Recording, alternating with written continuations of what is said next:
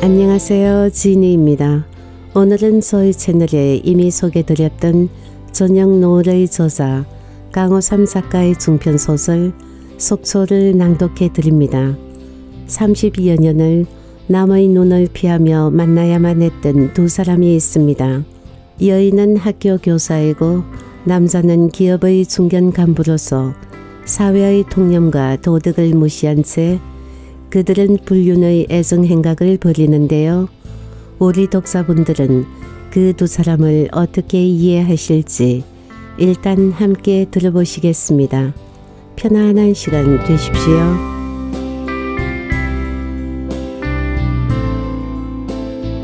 속초 지연이 강호삼 가보지 못한 길 그가 갓길로 들어가서 페달에서 한쪽 다리를 내려 땅을 딛고 자전거를 멈추고 내가 다가오기를 기다렸다.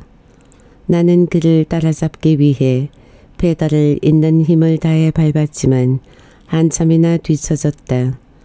땀이 나고 상귀된 얼굴로 숨을 헐떡거리며 그의 뒤쪽에 자전거를 세웠다. 땀에 젖은 머리카락을 쓸어 올리고 얼굴의 땀을 닦으며 나는 무척 심통이 났다. 쉬어가지. 그가 빙글에 입가에 미소를 떠올리며 말했다. 나는 대답 대신 씩씩거리며 입술을 쫑긋 내밀며 하얗게 눈을 흘겼다. 아무리 경주라고 하지만 기다려주지 않고 혼자 앞서서 내달린 데 대한 불만이었다. 우리는 대포를 지나 설악산 입구에서 상도문 삼거리까지 누가 먼저 빨리 가나 내기를 했다. 내 속을 들여다보기라도 하듯 그는 다시 얼굴 가득 미소를 지었다. 나는 그의 그런 미소가 좋다. 좋을 정도가 아니라 홀라당 빠져버렸다고 해야 옳다.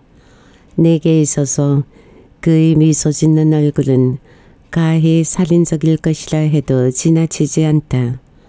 창피한 이야기지만 그때마다 나는 팬티가 흥건히 젖으면서 그와 섹스를 하고 싶은 욕망에 몸을 떤다. 실제로 그럴 때마다 나는 그를 집요하게 유혹해서 호젓한 길가에서나 숲속이나 내가에서 섹스를 했다. 실은 지금도 나는 그와 섹스를 하고 싶다. 조금 전의 심통은 그를 끌어들이기 위한 내 교활한 전소전에 불과하다. 아무튼 그는 여자인 내가 질투라도 할 만큼 희고 조각같이 단아하고 여자같이 맑고 섬세한 얼굴을 가졌다. 그가 자전거 안장에서 내려 받침대로 자전거를 세운 뒤 내 손에서 자전거를 억지로 넘겨받았다. 나는 아직까지도 화가 덜 풀린 듯 뾰로통한 얼굴에 입술을 한껏 내밀고 핸들을 거칠게 넘겨주었다. 그가 내 자전거를 받아서 받침대를 펴서 세우고 내 손을 잡아 끌어 잔디가 촘촘히 잘 자란 길가 언덕에 나를 앉혔다. 나란히 내 옆에 앉아서 내 얼굴을 똑바로 쳐다보며 우스꽝스러운 얼굴을 지으며 손으로 내 옆구리에 간지럼을 태웠다. 우리 공주님 무엇 때문에 또 심술이 났을까? 피, 공주는 무슨 놈의 공주? 나는 더 이상 참지 못하고 웃음을 터뜨리며 그의 무릎에 달랑 올라앉았다. 두 팔로 그의 목을 감싸 안으며 입안 가득히 그의 입속으로 혀를 밀어넣었다. 그와의 입맞춤은 언제나 달고 감미롭다. 길고 숨이 막힐 듯한 키스가 끝났어도 나는 그의 이마와 눈과 깃불과 목덜미 어디고 할 것 없이 마구 키스를 퍼부었다. 조금 전 한난 모든 것을 태워버리기라도 할 듯 이글거리던 늦여름 해가 내 수락산 아래로 천천히 떨어져 내렸다. 산 밑으로 사라지기 전 마지막 윗부분의 한 조각 붉은 해가 아쉬운 이별을 아꼈다. 점점이 떠있는 밝은 황금색 구름 사이로 사방으로 퍼져나가는 방사선 섬광이 참으로 신비하고 경이로웠다. 이었고 해가 영 넘어 백담사 인제의 내스락 산 아래로 완전히 떨어져 자취를 감추었다. 언제 그랬냐는 듯 그늘이 진 것처럼 사방이 어둑해지면서 동해바다 쪽으로 펼쳐진 외수락은 금세 공기가 서늘해졌다. 해가 떨어지자 오히려 산과 개울과 들녘이 활기찬 제 모습을 찾으며 사방의 풍경은 더욱 선명해졌다. 그제서야 길 건너 저편 큰 바위 돌틈으로 흐르는 시냇물 소리가 들렸다. 그 시냇물은 천불동 계곡과 양폭, 토왕성 폭포 등에서 합류하여 비선대 앞쪽을 감돌아 동해로 흘러나간다. 한여름이라도 발을 담그기가 시릴 정도로 차고 맑은 물이다. 산 위 한 뼘점 높이에 그 맑고 찬 겨울물이 씻기라도 한 듯 반쪽의 배곡 같은 상현달이 떠 있다. 절구질 하는 토끼의 모습이 선명한 달은 점점 파란빛을 더해가는 하늘을 배경으로 물 위에 떠서 흘러가는 것처럼 보였다. 길가 아스팔트 포상을 뚫고 솟아나온 코스모스가 한두 송이 이른 꽃을 피우고 있지만 이맘때 외수락 길가의 꽃은 단연 달맞이 꽃이다. 물이 있고 약간 습한 곳이면 어디에서나 잘 자라는 이 꽃은 이름 그대로 해가 지고 달이 뜨는 저녁에 꽃을 피웠다가 아침에가 뜨면 꽃잎을 접는다. 달맞이 꽃은 꽃 이름에서 느끼는 것과는 다르게 무척 수수하고 소박한 꽃이다. 다 자라면 1미터가 채 못 되는 줄기에 무딘 창날 같은 타원형의 솜털이 많은 길쭉한 이파리가 있다. 줄기에서 층층이 가지가 번지고 줄기 위쪽으로 올라가며 꽃잎이 네 개인 노란 꽃이 달린다. 겨울이 되면 줄기는 마르지만 뿌리는 그대로 동면에서 그 다음 봄에 다시 자라는 두의 살이 좋아인데 독성이 있어 소나 가축들은 먹지 못한다. 우리나라 세례종이 아니고 남미에서 묻어 들어온 식물이라는데 언제부터인가 여름 저녁 속초와 설악산 일대의 길가에 낯설지 않은 풍경으로 친숙하게 자리 잡았다.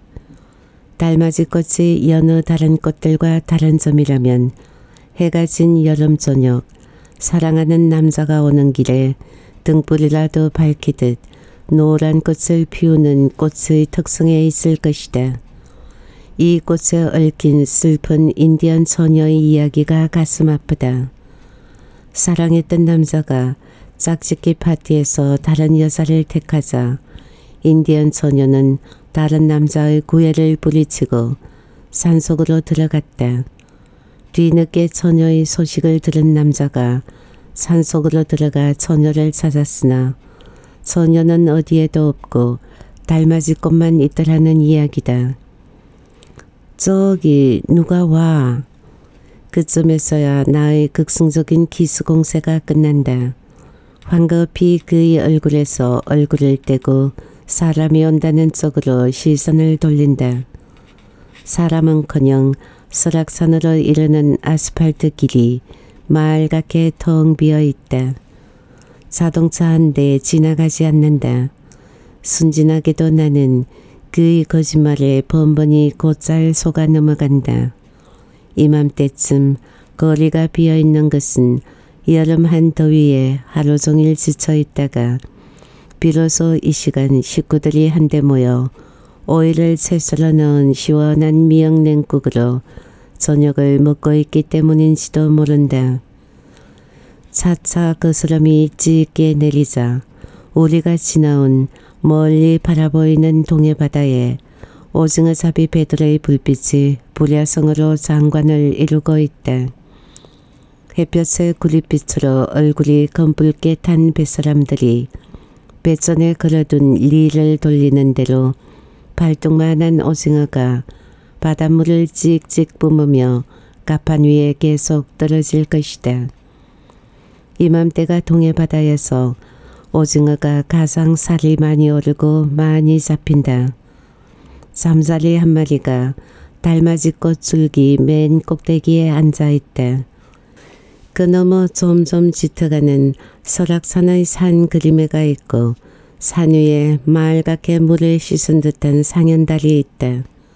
나는 그 순간 산속으로 들어가 달맞이꽃이 되었다는 인디언 처녀의 전설을 떠올리며 마음이 서늘해진다.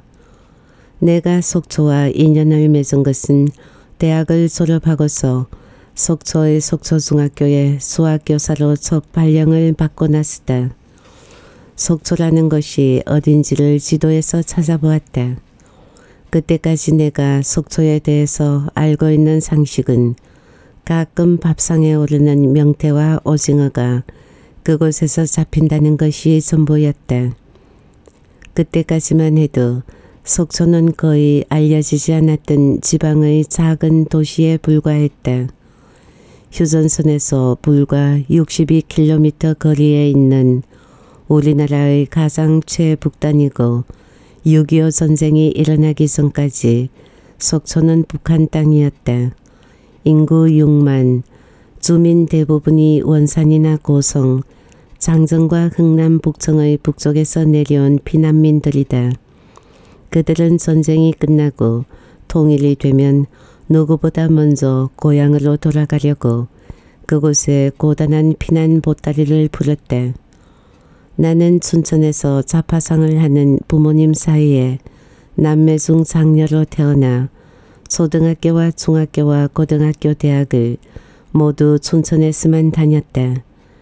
같은 강원도이긴 하지만 속초는 명절 때마다 경춘선 기차를 타고 가는 큰 집이 있는 서울보다 아득히 먼 곳이었다.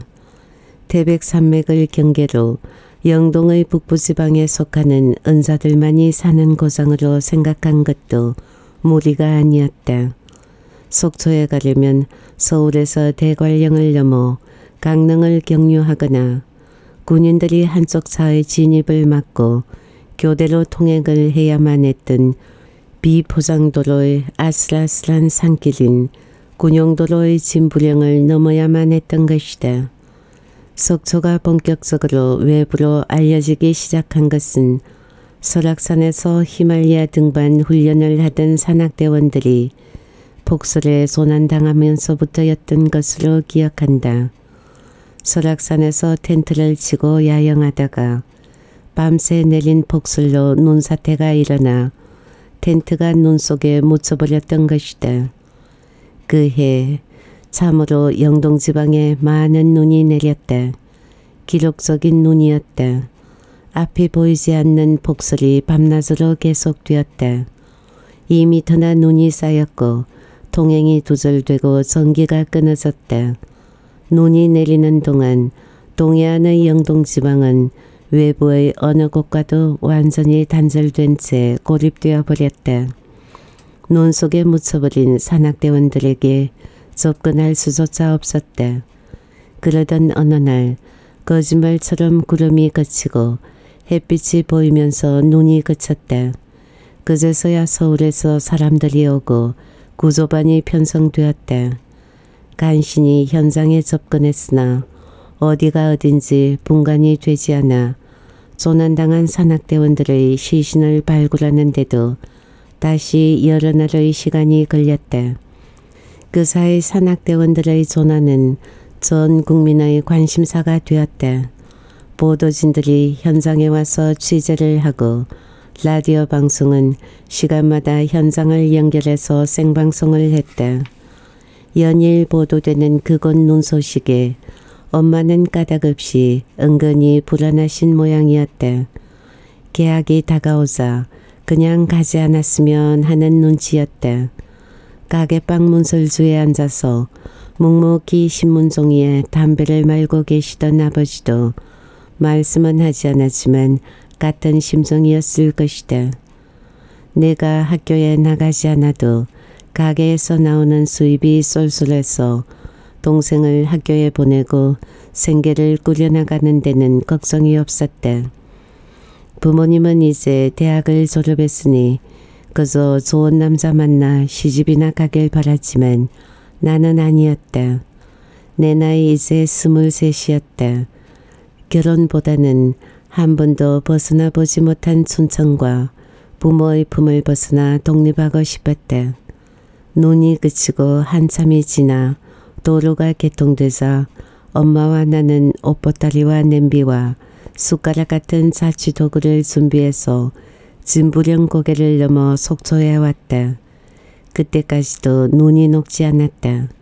포장되지 않은 한 길에 아직도 눈이 키만큼 쌓여 있어 옆으로 지나가는 사람이 보이지 않을 정도였다. 길바닥은 온통 진흙구덩이로 물이 질펀해서 사람들은 키낮은 슬레이터 처마 곁으로 간신히 지나다녔다. 학교 뒤편의 교동이라는 곳에 자취방을 얻었다. 안채와 완전히 독립된 사랑채였다. 집 뒤쪽으로는 시가지 쪽에서부터 밋밋하게 경사가 이루어진 한 길이 나아 있었다. 그 길은 직각의 가파른 언덕길과 맞닿아 미시령으로 가는 길로 이어지고 있었다. 그 언덕길에 오르면 남승다운 웅장한 설악산이 한눈에 보였다. 엄마는 시장에서 함석으로 만든 석유 풍로를 사준 뒤 다시 진부령을 넘어 춘천으로 돌아갔다. 드디어 가족과 떨어져 나 혼자만의 생활이 시작되었다. 선생으로서의 학교 생활은 대학 다닐 때와는 또 다른 흥분과 설렘으로 다가왔다. 대학 4년 동안은 참으로 재미없게 보냈다. 남학생들이 집요하게 데이트를 신청했으나 모두 거절했다. 너무 어리고 젖비린내가 난다고 생각했기 때문이다. 강의가 끝나면 곧상 도서관에 박혀서 남학생들에게 틈을 주지 않았다. 학교는 교장 선생을 합쳐 26명의 교직원이 있었다. 학생 수도 적고 학교 규모도 크지 않아 가족 같은 분위기였다. 모두들 해병아리 처녀 선생인 내게 관심을 가지고 친절하게 대해 주었다. 처녀 선생은 가사를 담당하는 주수자 선생과 영어 담당의 최춘지 선생과 나 모두 세 사람이었다. 두 선생은 서울에서 대학을 나왔고 스물여섯과 여덟으로 나이가 많았으며 최춘지 선생은 서울에 약혼자가 있었다. 총각 선생님들은 모두 일곱 명이었다. 그들은 모두 다른 지방에서 이곳에 왔고 졸업한 학교도 달랐다. 내가 부임하자 그들의 시선이 내게 집중되었으면 말할 필요가 없다. 나는 그들의 관심으로 학교 생활이 하루하루 즐겁고 살맛이 났다. 학생들도 순진하고 착했다. 내가 부임하고서 아이들의 수학 성적이 부쩍 올라 교장 선생님으로부터 칭찬을 받았다. 그러나 그 어느 무엇보다 나의 첫 직장 생활이 활기에 넘칠 수 있었던 것은 일곱 명의 총각 선생 중에 은근히 내 마음을 설레게 하는 선생이 있었기 때문이다. 부산의 어느 사범대학을 졸업한 서른 살의 국어 선생으로 소설가를 지망하는 문학 청년이었다. 동명동의 수복탑 근처에서 또한 사람의 총각 선생인 조수만 선생과 같이 하숙을 하고 있었다. 조수만 선생은 나와 전공은 달랐지만 대학의 4년 선배였고 춘천이 나와 같은 고향이었다. 속초의 북단인 동명동 바닷가에 수복탑이 있다. 6.25 전쟁 전에는 북한 땅이었다. 가까운 거리에 영금정과 영랑호가 있고 더 북쪽으로 가면 청간정이 해안선을 따라 계속 북쪽으로 가면 화진포와 대진항과 거진항을 차례대로 만날 수 있다. 수복탑은 실향민이 많은 속초의 상징 같은 조형물이다. 6.25 전쟁이 끝난 후 속초를 북한으로부터 수복한 기념으로 당시의 군인들이 콘크리트 모자상을 만들어 세웠다. 한 손에는 보따리를 한 손에는 어린아들의 손을 잡고 통일된 북쪽 고향을 향해 걸어가는 모습으로 섬세한 조영민은 없지만 통일된 고향으로 돌아가는 모자의 희망찬 모습이 잘 표현되어 있다. 정말 이곳에 피난 온 실향민들은 전쟁이 끝나면 바로 고향으로 돌아갈 것으로 생각했다. 그래서 번듯한 집을 짓는 대신 언덕이나 바닷가에 비바람만 간신히 가릴 수 있는 루핑이나 슬레이트로 지붕을 이은 판자집을 짓고 살았다. 바다에서 고기를 잡고 시장에서 장사해 번 돈은 고향에 돌아갈 때를 위해 차곡차곡 모아두고 있었다. 그러나 아이들이 새로 태어나고 어른들은 나이를 먹어가며 늙어가고 있었다. 언제 수복탑의 모자상이 탑에서 성큼 내려와 그리운 고향으로 갈 수 있는 날이 올 것인지 알 수 없었다. 국어 선생의 하숙집은 수복탑의 맞은편 시외버스 터미널로 가는 골목길 안쪽에 있었다. 일요일 춘천 집으로 가지 않으면 우리 세 사람은 자주 어울려 인근 양양의 낙산사를 찾기도 하고 설악산 등산을 같이 가기도 했다. 그런데 내게 있어서 이곳의 속초라는 지명은 아무래도 생경하고 생소했다. 어떤 계제에 내가 그에게 이 의문을 토로했다. 그러자 그도 같은 생각을 한 적이 있었다며 나름대로의 자신의 생각을 진솔하게 설명해 주었다. 한자의 속자가 무엇을 묵는다는 뜻이고 초자는 풀을 의미하는데 풀을 묶는다는 뜻인 것 같습니다. 중국 고사에 아들을 살려준 은혜를 갚기 위해 적군의 말이 걸려 넘어지게 하려고 풀을 묶었다는 이야기가 있는데 그 고사에 유래한 것이 아닌가 생각합니다.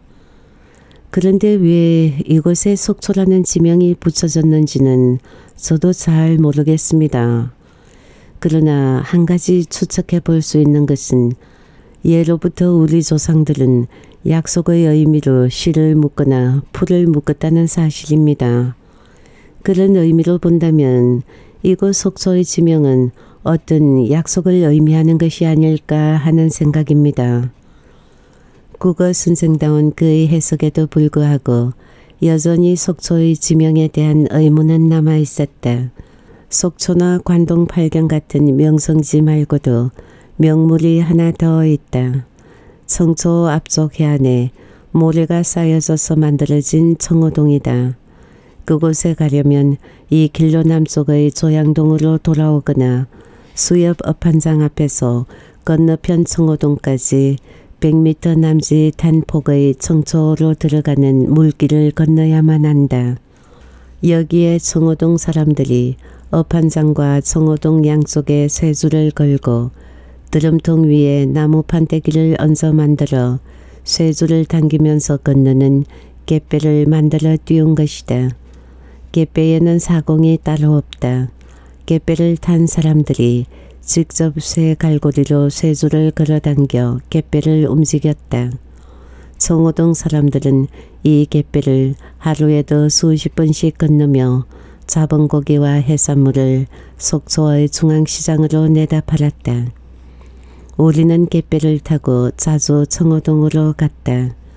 그곳에 바다로 길게 뻗은 방파제가 있고 방파제 끝에는 동명동 쪽에서 뻗어나온 방파제와 함께 한 쌍의 무인 등대가 있다.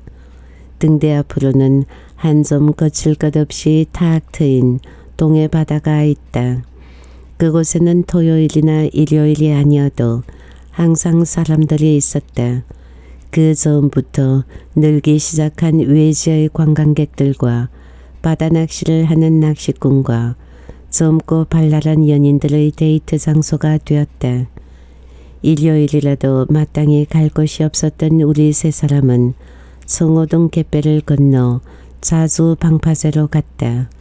또러 다른 남자 선생이나 여자 선생이 끼일 때도 있지만 대개는 세 사람일 때가 많았다. 나름대로의 계산이 있었다. 작은 도시라서 학교 선생은 학생들이거나 학부형들의 눈에 잘 띄게 마련이었다. 두 사람만 같이 다님으로 해서 일어날 수 있는 쓸데없는 오해와 부담에서 벗어날 수 있었다. 우리는 살찐 여인의 허벅지를 연상케 하는 방파제 콘크리트 구조물 사이에서 개를 잡거나 무연히 동해바다를 바라보며 명상에 잠기기도 했다. 돌아올 때는 속초에서 유일하게 고전 음악을 들려주는 가야다방에서 슈베르트의 겨울 야근에나 쇼팽의 연습곡과 모차르트의 음악을 들으면서 커피를 마셨다. 그래도 미지나면 세일극장 뒤쪽 부두의 팔도강산 가자미 회 무침집에서 소주를 마셨다. 처음에 나는 총각인 국어 선생에게 약간의 핑크빛이 가미된 관심을 가졌지만 그 이상도 그 이하도 아니었다. 분명한 것은 국어 선생도 내게 호감을 가지고 있었다는 사실이다. 그럼에도 우리 사이는 별다른 진전이 없었다. 무언가 결정적인 계기가 없었던 것이 그 원인이 아니었는지 모른다. 나는 지금도 우리 사이의 중간에 있었던 당시의 선배 마음을 잘 알 수가 없다. 당시 선배도 내게 호감을 가지고 있었던 것으로 생각되지만 한 번도 내색한 적이 없다. 이후로도 선배는 같은 태도를 견지했다. 세 사람 사이의 구도가 허물어진 것은 국어 선생의 갑작스러운 사직 때문이었다. 고향인 부산의 여자 사립고등학교로 자리를 옮기기 위해서였다. 무책임하달 수밖에 없이 신학기가 막 시작된 3월에 학교에 사표를 냈다. 우리는 팔도강산에서 그의 송별련을 했고 이튿날 하루에 오전과 오후 두 차례 뜨는 속초발 대한항공편의 비행기로 서울로 떠났다. 금호동의 대한항공 사무실 앞에서 출발하는 공항행 셔틀버스를 타고 선배와 함께 비행장으로 가서 국어 선생을 배웅했다. 처음 그를 만난 것은 바로 국어 선생의 배웅을 하고 돌아오는 셔틀버스 속이었다. 버스를 탈 때는 그의 존재를 몰랐다. 버스가 강연초등학교를 지나 동해바다를 오른쪽에 끼고 달리고 있을 때 그가 내 눈에 들어왔다. 천정에 매달린 버서의 손잡이를 잡고 서 있는 선배의 뒤쪽에 그가 서 있었다. 희고 조각처럼 단아한 얼굴이었다. 그의 존재를 인식하는 순간 나는 보수하니 갑자기 환하게 밝아지는 것 같은 느낌이었다. 시선이 마주쳤다. 내 눈빛이 어땠는지 모르지만 그의 시선이 일순 당황한 듯 흔들리는 것을 보았다. 조양동을 지나 시내로 들어선 셔틀버스가 금호동의 항공사 앞에 도착했다. 버스 문이 열리고 사람들이 내렸다. 버스를 내린 그는 무심하게도 뒤돌아보지 않고 속초의 가장 번화가인 중앙동 쪽으로 성검성검 걸어 이내 사람들 사이로 사라져 버렸다. 순간 나는 까닭없이 마음이 텅 빈 것 같았다. 국어 선생이 떠났기 때문인지 아니면 눈앞에서 미지의 그가 사라져 버렸기 때문인지가 분명치 않았다. 그는 오늘 버스 속에서 처음 얼굴을 보았을 뿐이다. 그가 어디에 사는 누구이며 무엇을 하는 사람인지 미혼인지 기혼인지 전혀 알지 못한다. 그런데도 처음 본 그의 강렬한 이미지가 머릿속에서 쉽게 사라지지 않았다. 유 선생 커피 한잔하고 들어가요. 선배가 지나가는 말처럼 나의 의향을 물었다. 색깔은 다르지만 선배도 매일같이 어울려 다니던 국어 선생이 떠났다는 사실에 역시 마음이 허전한 모양이었다. 자취방으로 돌아가려던 발길을 돌렸다. 선배가 이끄는 대로 조금 전 미지의 그가 사라진 길을 걸어 가야다방으로 갔다. 그냥 좌치방으로 돌아가면 무척 외롭고 허전할 것 같았다. 가야다방에 가서 고즈음악 마니아라는 마시성의 주인에게 부탁해 차이코프스키의 6번 교향곡 이악상이나 아니면 드볼작의 첼로곡인 아메리카라도 듣고 싶었다. 만약 그런 판이 없다면 슈베르트의 겨울 야근에도 괜찮을 것이라는 생각이 들었다. 조금 음색이 어둡고 차 가라앉은 그 곡들의 선율들이 국어 선생이 떠난 마음의 빈자리를 얼마간이나 채워줄 수 있을 것 같았다. 누군가 한쪽 문이 닫히면 다른 한쪽 문이 열린다고 말했다. 자취방의 60와트 알승구 필라멘트가 나가버렸다. 문간방이긴 하지만 전등이 없으면 낮이라도 어두웠다. 전구를 사기 위해 학교에서 퇴근길에 바로 중앙시장으로 갔다. 명전사라고 간판이 붙은 전기재료상은 한 길에서 시장으로 들어가는 초입에 있었다. 나는 가끔 그 재료상에서 금속 라디오에 쓸 건전지라든지 작은 전기용품을 구입하고 다시 시장으로 들어가 반찬거리를 사기도 했다. 토요일 오후인데도 가게 안이 한산했다. 안주인으로 보이는 점원이 끝내주는 전구를 받고 값을 치르는 중이었다. 가게의 문이 열리고 남자 한 사람이 가게 안으로 들어와 내가 서 있는 유리 진열대 앞에 나란히 있었다. 남자는 점원에게 건전지를 달라고 했다. 옆얼굴이 어디선가 낯이 익었다. 그랬다. 며칠 전 서울로 가는 국어 선생을 배웅하고 돌아오는 길에 셔틀버스 안에서 본 바로 그 남자가 분명했다. 거짓말처럼 그 남자가 내 옆에 서 있었다. 갑자기 가슴이 쿵쾅거리며 세차게 뛰기 시작했다. 진땀이 나면서 얼굴이 화탓 달아올랐다. 무언가 이상한 느낌을 받았는지 남자가 내 쪽으로 얼굴을 돌렸다. 남자의 얼굴에 환한 미소가 번졌다. 그날 버스 안에서 남자도 분명 나를 의식했음이 확실했다. 여기서 다시 만나게 되네요. 남자가 아무렇지도 않게 그저 지나가는 것처럼 말을 걸어왔다. 저음의 낮고 약간 콧소리가 섞인 무엇라고 꼬집어 말할 수 없는 매혹적이고 부드럽고 감미로운 음성이 귓속을 울렸다. 나는 정신이 없었다. 안녕하세요. 머리를 약간 숙이고 간신히 그렇게 인사했던 것으로만 기억난다. 급히 전구값을 치려고 나는 쫓기듯이 황황히 명전사를 나왔다. 그의 시선이 나의 뒤를 쫓고 있는 것을 의식했다. 시장에서 과일과 반찬거리를 사면서 나는 가까스로 쿵쾅거리는 가슴을 진정시켰다. 그리고 새삼 그 앞에 왜 그렇게 당황한 모습을 보였는지 쥐구멍에라도 들어가고 싶도록 창피하고 부끄러웠다. 다음 다시 만나게 되면 당당해질 것이라고 다짐했다. 얼굴을 확실하게 알게 된 이상 이 작은 도시에서 그를 다시 만나게 되는 것은 시간 문제였다. 어쩐지 점잖고 세련되었다고 생각했는데 보기보단 나이가 많았다. 서른여섯, 나와는 열두 살이나 나이가 많은 띠동갑이었다. 직업은 서울 석탄공사의 속초 책임자였다. 양양의 중석 광산에서 채굴되는 광석의 원석을 일본으로 수출하는 일이 그 일이었다.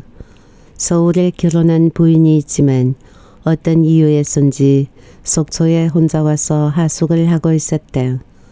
그에게 부인이 있다는 사실에 충격을 받았지만 마음 편하게 마음 먹기로 했다. 골키퍼 있다고 골 들어가지 못하는 법이 없다는 당돌한 생각이었다. 실제로 그에게 결혼한 부인이 서울에 있다는 사실이 우리 사이에 아무런 걸림돌이 되지 않았다. 단순히 나의 차로 본다면 그는 나에게 아저씨 뻘이었다. 처음에는 이 나이 차와 기혼이라는 사실 때문에 주저하며 일정한 거리를 두며 얼른 내게 다가오기를 꺼렸다. 그는 나와 달리 기존의 도덕적인 굴레를 쉽게 뛰어넘을 수 없었던 것 같았다. 그러나 의도적으로 유혹하는 나의 집요하고 앙큼한 유혹에 별 수 없이 그는 손쉽게 무너져 내렸다. 그해 여름방학 내 수락의 캠핑을 겸한 민박집에서 나는 그에게 여자로서의 처음으로 몸을 열었다. 아무리 그를 사랑하지만 여자가 처음 자신의 몸을 여는 일은 두려움과 호기심과 흥분을 겸한 대사건이었다. 예화, 내가 정말 괜찮겠니? 어둠 속에서 옷을 벗은 뒤 가만히 내 곁으로 다가와 조심스럽게 물었다.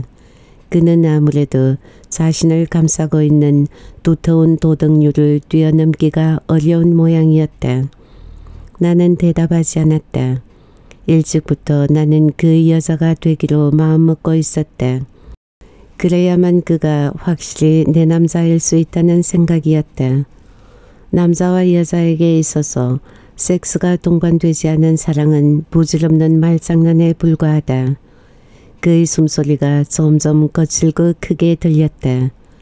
그의 손이 조심스럽게 엷은 내 네글리제를 헤집고 들어와 젖가슴을 어루만지기 시작했다. 나는 반사적으로 몸이 꼿꼿하게 경직되는 것을 느꼈으나 이내 그의 부드럽고 능숙한 애무에 몸을 내맡겨 버렸다. 그의 얼굴이 가슴으로 내려와 혀로 젖꼭지를 애무하다가 입에 넣고 가볍게 깨물었다. 나는 더 이상 참지 못하고 단발마의 짐승이 내지를 법한 외마디 비명을 지르며 두 팔로 그의 목을 감싸 안고 매달렸다. 그는 이미 점액으로 흥건히 젖어 있는 나의 팬티를 조심스럽게 밑으로 밀어내리고 다시 네글리즈를 위로 그어 올린 뒤 반드시 나를 방바닥에 눕혔다.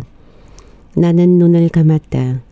내 질은 완벽하게 내 생애 처음으로 남자를 받아들일 준비가 되어 있었다. 그가 내 위로 올라왔다. 그의 우람한 음경이 극히 조심스럽고 천천히 내 살 속을 비집고 들어왔다. 이어 살이 찢어지는 고통이 엄습했다. 나는 아픔을 참기 위해 다시 두 팔로 그의 목을 끌어안고 매달렸다. 아픔과 마침내 내가 그의 것이 되었다는 희열과 내 질속 깊숙이 하나 가득 들어와 있는 그의 장대하게 부푼 음경으로 나는 정신을 차릴 수가 없었다. 살이 떨리고 목이 말랐다. 한사껏 그의 목을 끌어안으며 입술을 마구 빨았다. 누구나 생애의 첫 정사는 잊지 못하게 마련이다. 나는 지금도 그때의 일을 바로 어제처럼 생생하게 기억한다. 도둑질도 처음 할 때가 들킬까봐 제일 겁나게 마련이다. 첫 번의 섹스가 있은 후 우리는 마치 막힌 봄물이 터지기라도 한 듯 기회만 있으면 섹스를 했다. 그와의 섹스는 언제나 황홀하고 만족스러웠다. 그해 겨울 방학에는 설악산의 양폭으로 가는 길목의 비선대 산장의 방을 빌려 일주일을 같이 보냈다. 산장에 도착했을 때부터 눈이 내리기 시작하더니 그 다음 날에는 산장에서 밖으로 나가는 문이 열리지 않을 정도로 1미터가 넘게 깊이 쌓였다. 온 산이 하얗게 눈으로 덮였다. 계속 눈이 내렸다. 온통 눈으로 덮인 설악산에 들어와서야 왜 설악산을 설악산이라는 이름이 붙여졌는지 비로소 알 것 같았다.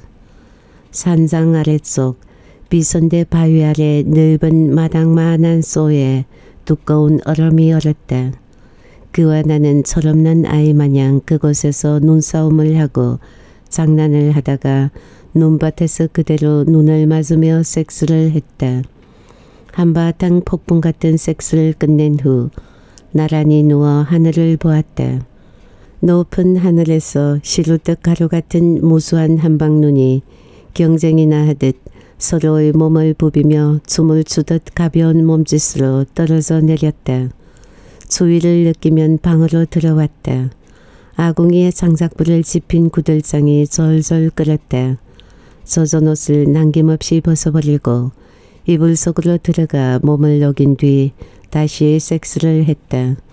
그와의 사이에 있었던 모든 일들이 어제 일처럼 생생하지만 그 중에서도 결코 잊어버릴 수 없는 에피소드가 있다.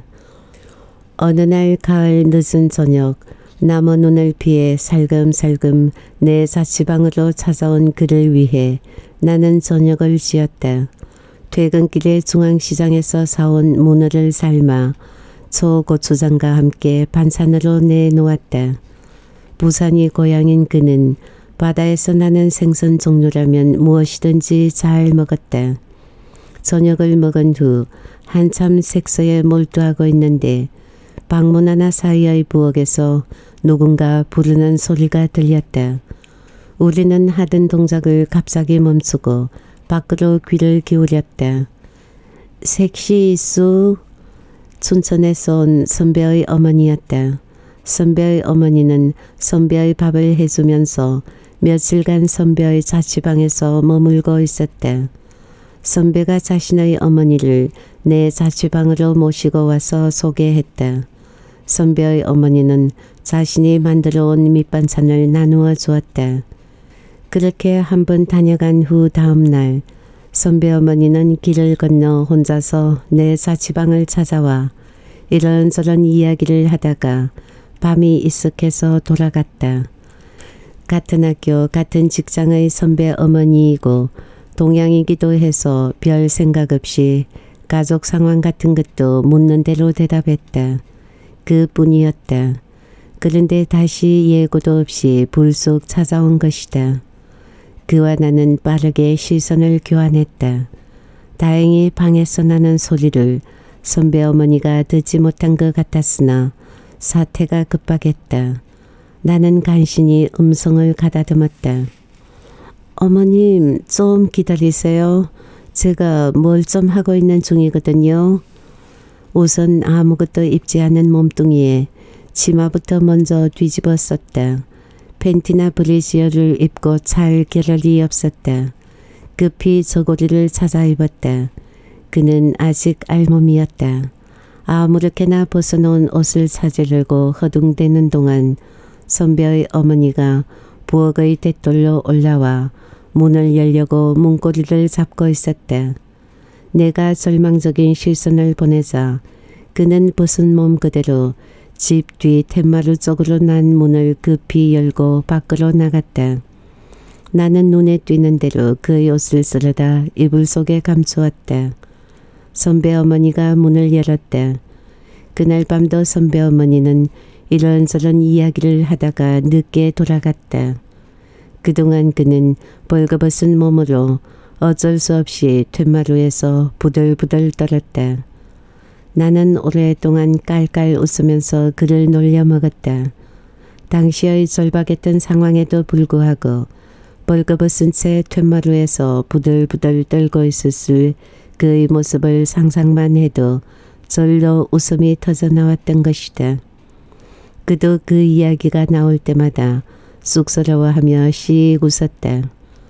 나는 너무나 그에게 열중해 있었으므로 한참 후에야 선배 어머니가 몇 번이나 나를 찾아온 이유를 알았다. 은근히 선배인 아들의 섹시감으로 나를 탐색하고 있었던 것이었는데 나만 까맣게 모르고 있었던 것이다. 설사 알았다 손치더라도 별 관심이 없는 일이었다. 그때까지 선배는 그저 선배였고 그 이상도 그 이하도 아니었다. 그런데 언제까지나 계속될 것 같은 그와 나 사이에 전혀 예상치 못했던 변화가 갑작스럽게 찾아왔다. 서울에서 그의 부인이 온 것이다. 당장 마땅한 구실을 댈 수 없었던 그는 그의 부인을 받아들일 수밖에 없었다. 나는 그러한 그의 입장을 충분히 이해하면서도 끓어오르는 질투심으로 고통스러웠다. 적반하장인 셈이지만 나는 이 일을 계기로 새삼스럽게 그와의 관계를 되돌아보았다. 얼마 후 그의 부인이 서울로 돌아갔지만 나는 이제 어쩔 수 없이 그와의 결별을 준비해야만 한다고 생각했다. 그때까지도 그와 나와의 관계에 대해서 아무것도 모르는 선배가 마침내 내게 구혼을 해왔다. 나는 그에게 내 결심을 이야기하고 마지막으로 이별 여행을 다녀온 뒤 서둘러 선배와 결혼했다. 학교도 선배를 따라 춘천으로 옮겼다. 속초와 설악산, 곳곳에 그와의 추억이 스미지 않은 곳이 없는 영동을 넘어서 영서의 집이 있는 춘천으로 돌아왔다. 그도 속초에서 업무가 끝나 서울로 돌아갔다는 소식을 들었다. 거리상으로 보면 춘천에서 속초보다 춘천에서 서울이 더 가깝지만 선배와 결혼 후 나는 한 번도 그를 만나지 않았다. 그렇다고 그에 대한 나의 마음이나 사랑이 식은 것은 아니었다. 그가 서울로 돌아간 지 얼마 후 부인과 이혼을 했다는 소식을 들었다. 그것이 순전히 내 탓인 것 같아 한동안 괴로웠다. 그러나 세월은 흐르고 나는 선배와 결혼 후 사내 아이를 낳았다. 피임기구를 사용하지도 않고 그와의 수백 번을 헤아리는 섹스에도 임신이 되지 않았는데 선배와 결혼을 하자마자 아이가 들었었던 것이다. 이런 것들로 미루어 보아 어쩌면 그와는 인연이 아니었는지도 모른다는 생각이 들었다. 선배의 아이에 대한 사랑은 각별했다. 아이가 세 살이 되면서 우리는 은근히 다음 아이를 기다렸다. 기왕이면 여자아이를 낳고 싶었으나 쉽게 아이가 들어서지 않았다. 첫 아이가 자라서 초등학교에 입학하고 다시 중학교를 거쳐 고등학교에 들어갔으나 끝내 아이의 동생은 생기지 않았다. 독신으로 만년을 보내고 있는 서울의 그가 마음에 끌리지 않은 것은 아니지만 선배와 나는 그런대로 두 사람의 생활을 잘 꾸려나갔다. 잘 꾸려나간다는 말은 내게 있어서 애정과는 다른 일종의 체념과 타협 같은 것이었다. 내가 구체적이고 실질적으로 선배의 삶에 관심을 가지게 된 것은 아이러니하게도 선배가 위암 3기 판정을 받고 병원에 입원을 하면서부터다. 선배가 그렇게 되도록 그동안 나는 무엇을 했다는 말인가. 선배가 입원해 있는 동안 비로소 선배가 나를 얼마나 사랑했는지를 알았다. 선배는 한 번도 나 외에 다른 것을 바라본 적이 없었지만 나는 아니었다. 나의 새삼스러운 극진한 간병에도 불구하고 선배는 위암 수술 후 내 손을 잡은 채 조용히 눈을 감았다. 나는 내가 그에게 얼마나 잔인했는지 똑똑히 알았다. 선배의 위암 발병은 순전히 나로 인한 것이었다. 한 번도 내색하지 않았으나 얼마나 마음이 아팠으면 암덩어리를 뱃속에 키워왔을까. 선배도 아이가 자신의 아이가 아님을 알고 있었다. 나는 뒤늦게 병원 기록에서 그가 무증자증임을 알았다. 아이의 서울 명문대학교 합격 소식을 듣고 나는 속초로 왔다. 동명동 시외버스 터미널에서 내렸다. 터미널에서 불과 50여 미터 거리의 바닷가에 수복탑이 옛날 그대로 서 있었다. 아직도 실향민들이 고향으로 돌아가지 못하고 있다. 32여 년 전 예대로 수복탑의 모자성은 북쪽을 향해 걸음을 옮기고 있는 모습이다. 나는 무연히 수복탑을 올려다보았다. 언제 정말로 저 모자가 성큼 탑을 내려와 통일된 북쪽 고향으로 돌아갈 수 있을지 알 수 없었다. 지금 당장은 아니라도 세월이 흐르면 언젠가는 갈 수 있을 것이 분명하다. 그러나 결코 나와 내 아이는 그에게 돌아가지 못할 것이다. 왜냐하면 아이는 앞으로도 영원히 선배의 아들로 남을 것이기 때문이다.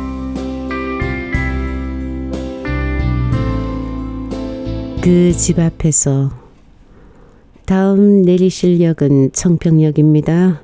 청평역에서 내리시는 손님 안녕히 가십시오.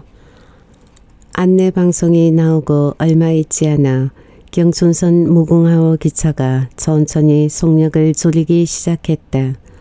청평역에서 내릴 사람들이 일어서서 선반에 얹어둔 짐을 챙겼다.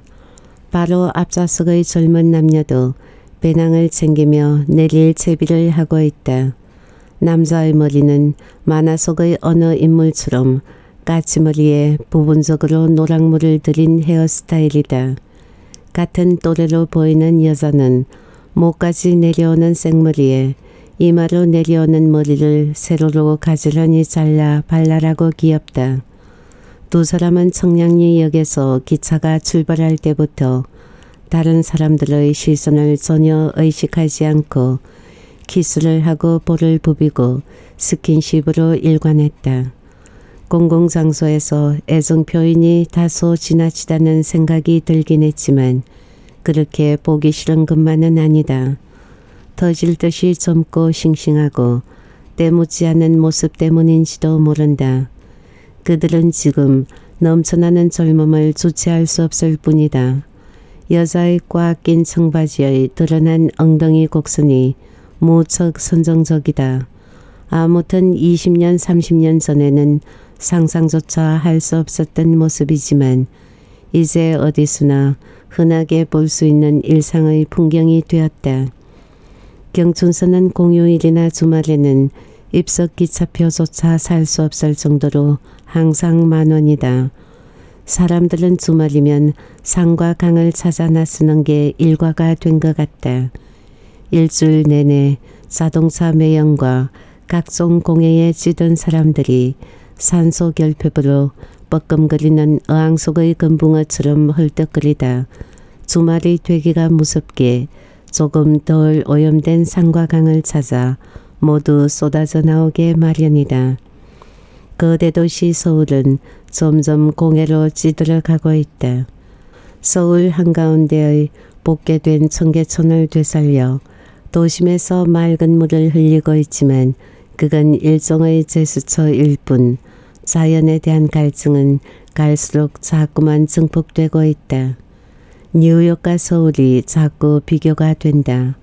바다를 끼고 있긴 하지만 세계 제일의 도시라는 뉴욕은 서울과 확연히 다르다. 물가가 높고 인구도 서울 못지않고 자동차도 많지만 서울에 비해 비교가 안 될 정도로 공해는 덜하다. 엄격한 규제도 규제지만 그들은 처음부터 도시 계획을 친환경적으로 세웠다. 도시 중앙에 도시 전체 넓이만한 공원을 만들고 그 동쪽과 서쪽에 건물들을 배치했다. 한강폭의 세배나 되는 허드슨 강변을 모두 공원으로 가꾸었다. 허드슨 강으로 오르내리는 화물선의 느릿한 모습은 이곳이 세계에서 가장 분주한 도시 뉴욕이라는 사실을 잊게 했다. 뉴욕에 체류하는 동안 나는 아침마다 리버파크에서 조깅으로 하루 일과를 시작했다. 동쪽의 120번가에서 80번가까지 강을 끼고 천천히 달린다. 리버파크는 조깅 코스도 코스려니와 아파트 바로 옆이어서 어린이 놀이터가 많았다.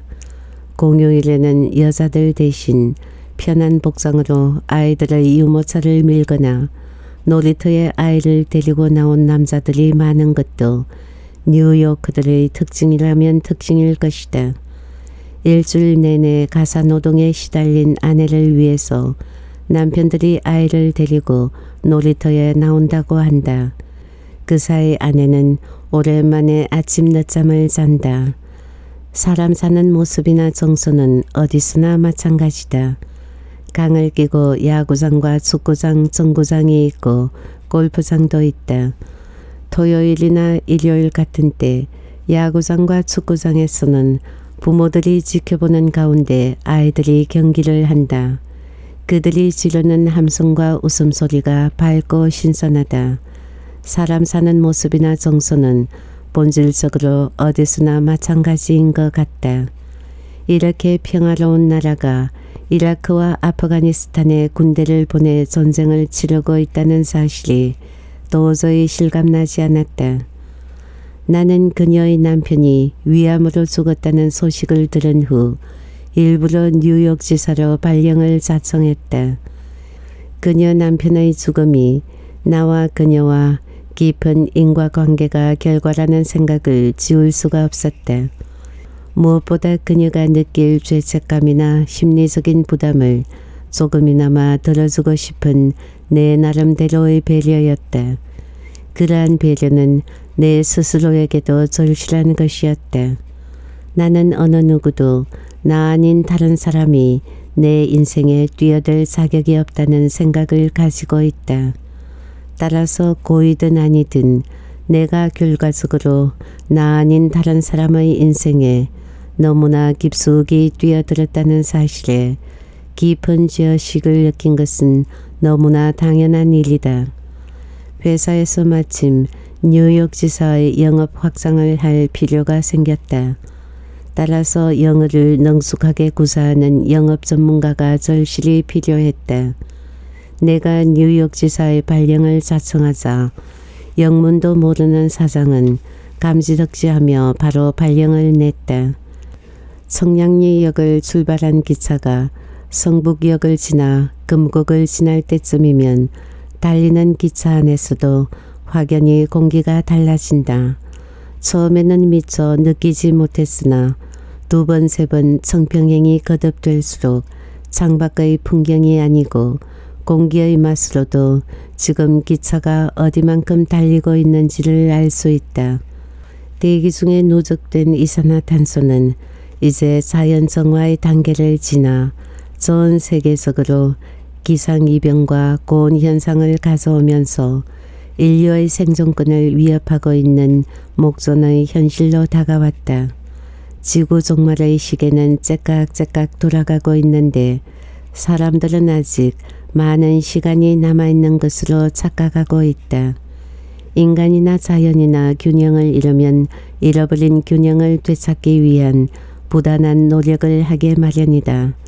어쩌면 내가 뉴욕 지사의 발령을 자청한 것은 또 다른 어떤 의미에서 내 나름대로 내가 깨뜨려버린 그녀와 나 그리고 우리를 둘러싸고 있는 이 사회의 균형을 되찾으려는 노력이었다고 말할 수 있을지 모르겠다. 지구의 마지막 허파라고 일컬어지는 브라질의 아마존 수림처럼 이 나라에서는 강원도가 그런 존재이다. 서울에서 강원도로 진입하는 경중가도도 개발이라는 이름으로 2차선 도로가 4차선 6차선이 되고 강가에 무분별하게 들어선 상가 건물들이 난립하고 있지만 그래도 아직은 울창한 숲과 맑은 공기를 유지하고 있는 편이다. 기차가 청평역 구내에 들어섰다. 덜컹하면서 완전히 기차가 멈추어 서자 나도 자리에서 일어났다.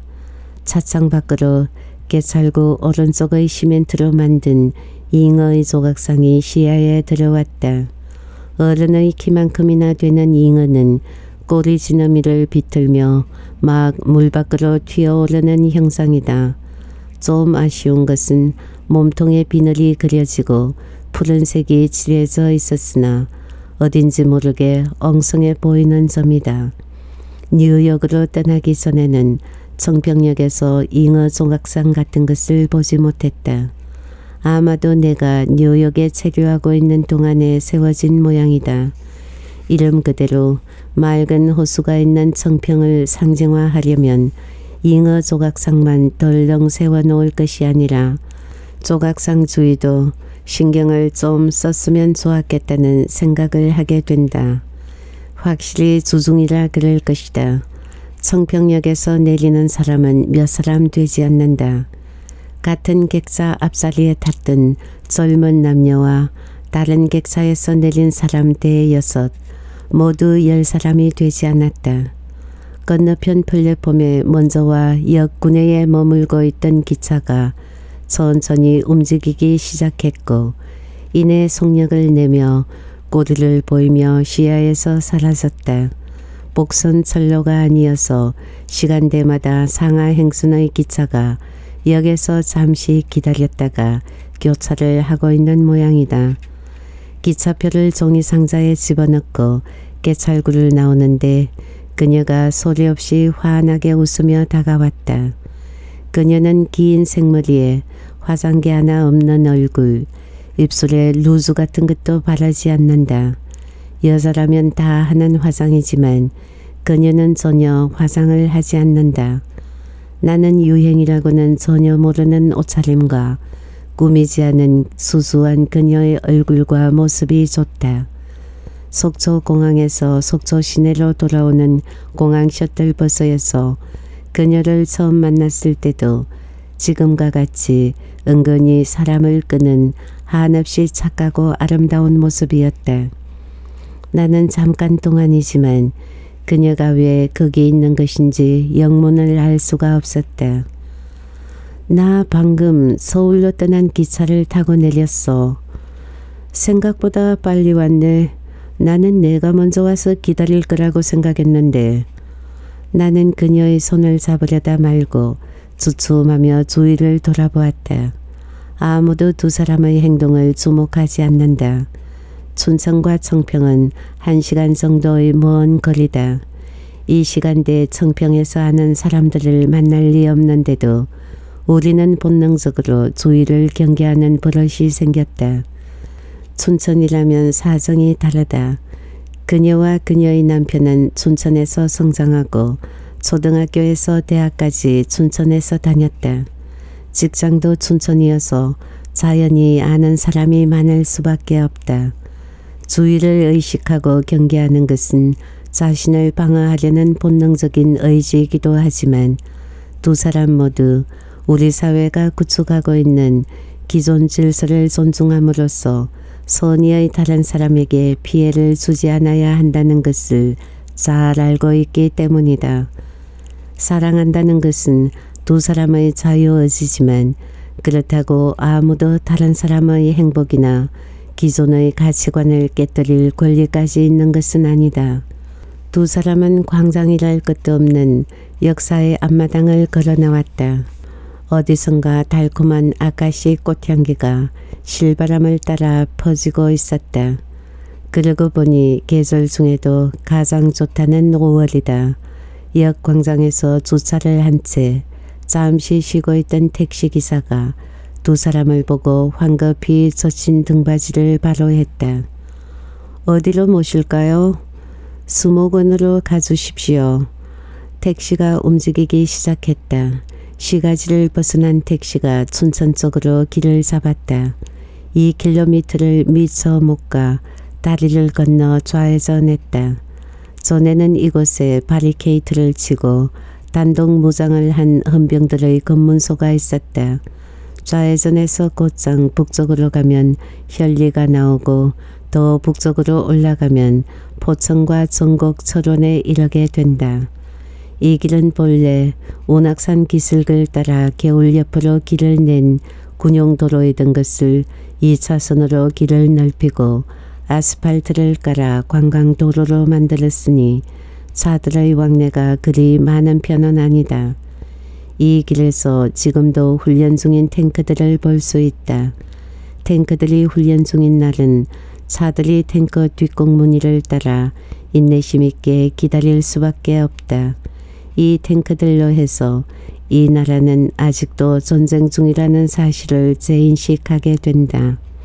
택시가 청평 유원지와 지난주 두 사람이 사랑을 나누었던 청평 호텔이 오른쪽을 보이는 곳을 조금 더 지나 비포장도로인 중령산 쪽으로 방향을 잡는다.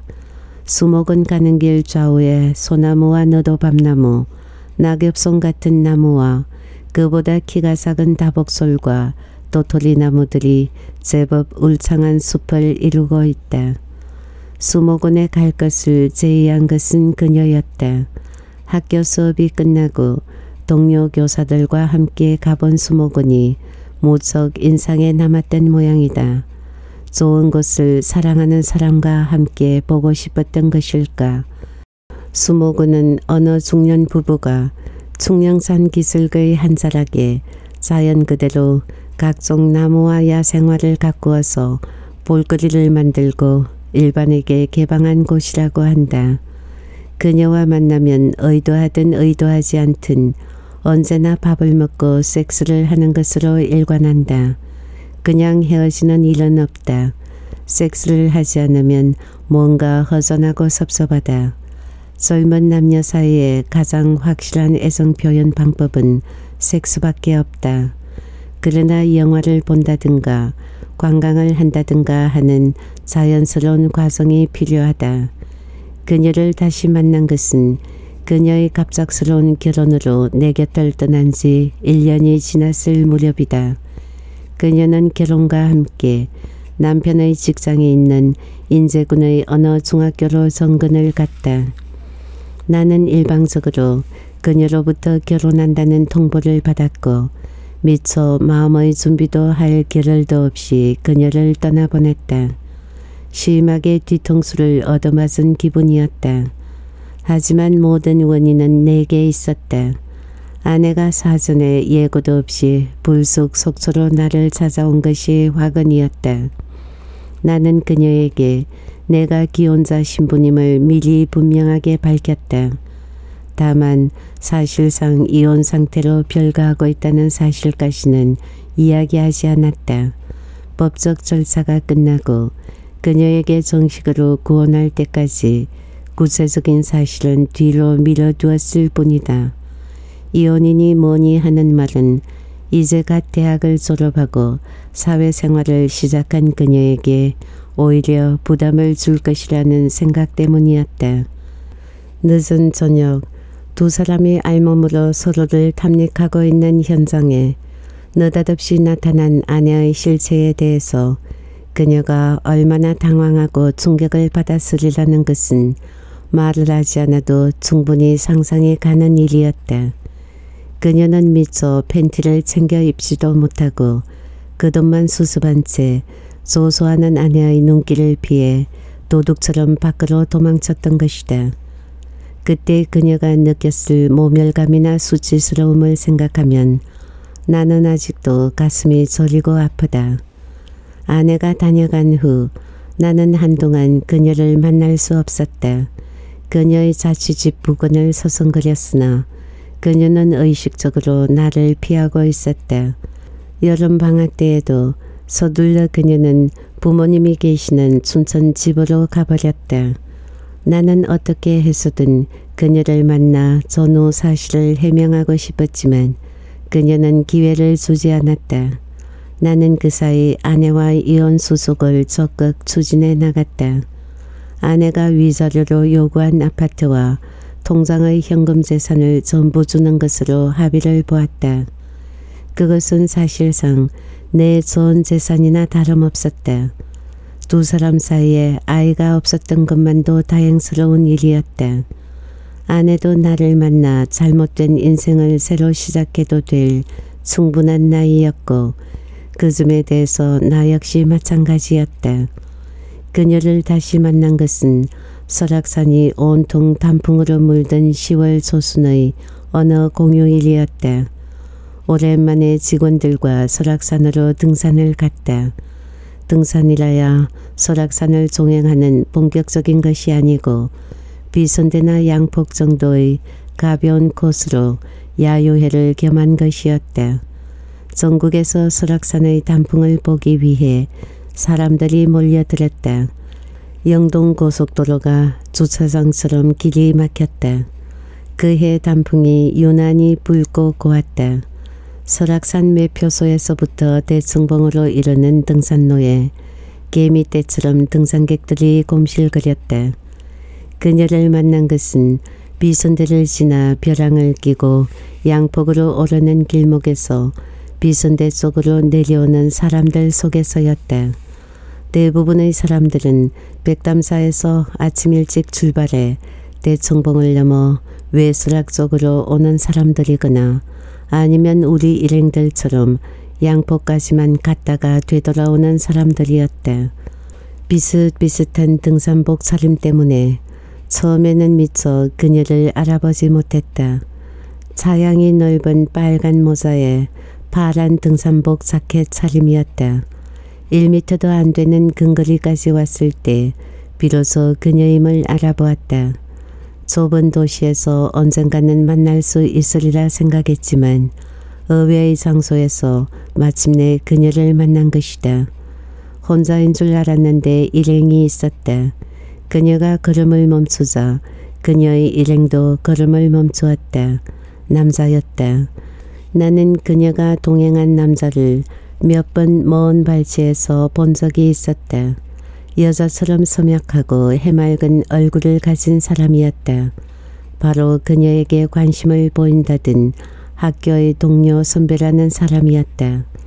언젠가 그녀로부터 그 선배의 어머니가 그녀를 며느리감으로 욕심을 내고 있다는 말을 들었던 적이 있었다. 그 선배 어머니 때문에 겪은 결코 잊을 수 없는 해프닝을 생각하면 지금도 손웃음을 짓는다. 어느 날 그녀의 자취방에서 그녀가 지어준 저녁을 먹은 후 두 사람이 알몸으로 한참 섹스에 몰입하고 있을 때였다. 내가 벽에 비스듬히 기대어 앉고 그녀가 두 손으로 내 어깨를 잡은 채 내 위에 올라앉은 채위였다. 어느 순간 격렬하게 들썩거리던 그녀의 엉덩이가 갑자기 움직임을 멈추었다. 그녀가 먼저 밖에서 난 인기척을 들었던 것이다. 나도 엉덩이를 마주 지켜 올리던 동작을 멈추고 밖으로 귀를 기울였다. 누군가 그녀를 부르고 있었다. 유 선생 방에 있나? 며칠 전에 시골에서 올라와 있다는 선배의 어머니였다. 그녀가 경악해서 나를 쳐다보았다. 다음 순간 그녀가 후딱 몸을 움직이며 내게서 떨어져 나갔다. 그녀의 줄 속에서 한껏 부풀어 있던 내 음경이 갑자기 밖으로 돌출되면서 범벅이 된 조맥으로 번들거렸다. 동시에 물총에서 뿜어져 나오는 물같이 정액이 공중으로 힘차게 분출되었다. 도저히 제어가 안 되는 상황이었다. 어떻게 뒤처리를 했는지 모른다. 경황 중에도 그녀가 자신의 팬티로 모노륨 방바닥을 잽싸게 훔치고 펼쳐진 이불 속으로 말아넣는 것을 보았다. 급하게 옷을 찾았으나 얼른 눈에 보이지 않았다. 내 옷도 이불 속에 같이 말려 들어간 것이 분명했지만 그걸 다시 꺼낼 시간적인 여유가 없었다. 그녀가 절망적인 눈빛으로 툇마루 쪽으로 난 뒷문을 눈짓했다. 유 선생 벌써 자나? 선택의 여지가 없었다. 선배 어머니가 문을 열려고 문고리를 잡고 있었다. 나는 팬티도 걸치지 않은 알몸으로 뒷문을 열고 툇마루로 나갔다. 그날 저녁 나는 느닷없이 찾아온 선배의 어머니가 돌아갈 때까지 두 시간 동안을 늦가을의 쌀쌀한 바깥 날씨에 몸을 오들오들 떨며 기다렸다. 덕분에 보름 동안이나 호된 감기를 알았다. 안녕하세요. 지나가는 다른 등산객들에게 한 걸음 비껴서서 길을 내주며 되도록 자연스럽게 내가 먼저 인사를 했다. 피하기만 하든 나와의 갑작스러운 조우에 서거나 아니면 동행한 선배를 의식했는지 심하게 당황해 하던 그녀의 눈빛이 가까스로 안정을 되찾았다. 안녕하세요. 그녀도 같은 말로 인사를 되받았다. 그리고 옆으로 돌아보며 영문을 모르고 멀뚱히 서 있는 선생을 소개했다. 같은 학교에 있는 동료 선생님입니다. 이쪽은 XX 회사의 속초 지사장님이고요. 두 사람이 동시에 손을 내밀었다. 차고 땀이 밴 것처럼 축축하고 거미같이 손가락이 기다란 손이었다. 반갑습니다. 반갑습니다. 하산하시는 길이군요. 예, 사람들이 너무 많아서요. 저는 일행이 있어서 조금 더 올라갔다가 내려오겠습니다. 먼저 내려가십시오. 좁은 등산로를 메어져라 꾸역꾸역 밀려 내려오는 등산객들 때문에 그 자리에 더 지체할 수 없었거니와 무엇보다 나는 당황해하는 그녀의 입장을 빨리 모면해주고 싶었다. 그런데 그 만남이 처녀 신분으로서의 그녀와 마지막 만남이 되었다. 그녀로부터 소식을 기다리다 못해 그녀가 재직하는 학교로 전화를 걸었다. 어느 여선생이 전화를 받았다. 그 여선생님 결혼 휴가 내셨습니다. 다음 주부터 학교에 나오십니다. 청길 아득한 낭떠러지로 떨어지는 기분이었다. 그녀와 이렇게 헤어지게 되리라고는 상상도 못한 일이었다. 나는 그녀와 헤어질 준비가 전혀 되어 있지 않았다. 그뿐만 아니라 전처의 출연으로 빚어진 그녀의 충격을 덜어줄 기회만 기다리고 있었던 내게 그녀의 결혼 소식은 한마디로 날벼락 그것이었다. 수목은 입구에서 택시를 내렸다. 두 사람을 태우고 온 택시는 그 자리에서 뒤돌아 소나무 사이를 어렁거리며 지나 이었고 시야에서 사라졌다. 분지스럼 사방이 산으로 둘러싸인 곳에 제법 넓은 평지가 나타났다. 차분히 가라앉은 조용하고 목가적인 전원 풍경이 거기에 있었다. 평일이어서 그런지 관광객은 한 사람도 눈에 띄질 않았다. 멀리 소나무 숲 사이로 밀짚 모자를 쓴 남자가 재배하는 식물에 그름을 주는 듯 소쿠리를 들고 움직이는 게 보일 뿐이다. 우리도 이런 곳에 집 짓고 살았으면 좋겠어. 그녀가 지나가는 소리처럼 말했다. 그녀의 우리라는 말이 무엇을 의미하는지 분명하지 않고 생경하게 들렸다. 나와 그녀는 우선 싱그러운 산속의 공기를 가슴 가득 들이마셨다. 다음으로 그동안의 목마름을 채우기 위해 사람이 잘 뛰지 않는 숲속으로 들어갔다. dum불숲으로 사방이 차폐된 장소를 찾아 자리를 잡고 앉았다. 내가 손을 뻗자 기다렸다는 듯 그녀가 품속으로 안겨들며 내 입술을 받았다. 입안으로 하나 가득 들어와 꿈틀대는 그녀의 혀가 세상의 그 무엇보다 짜릿하고 감미로웠다. 그녀의 사태로 손을 디밀자 이미 그녀의 팬티가 흥건히 젖어 있었다. 팬티를 옆으로 제치고 질 속으로 손가락을 깊숙이 찔러 넣자 그녀는 짧고 나지막한 비명을 지르며 왈칵 윗몸을 뒤로 제쳤다. 나도 더 참을 수 없었다.